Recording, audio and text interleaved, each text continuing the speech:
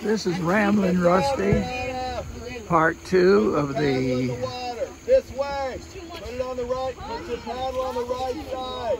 canoeing on the south fork of the Shenandoah.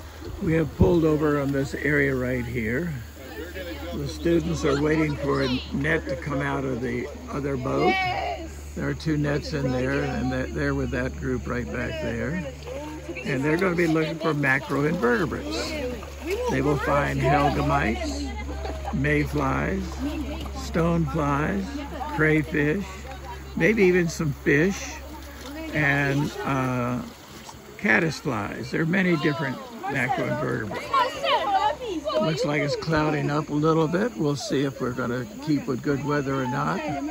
We'll make, make some shifts. I'll put those two ladies in my canoe right here, and we will carry on from there. This is Ramblin' Rusty signing off right now, part two of the Shenandoah canoe trip with the seventh and eighth graders.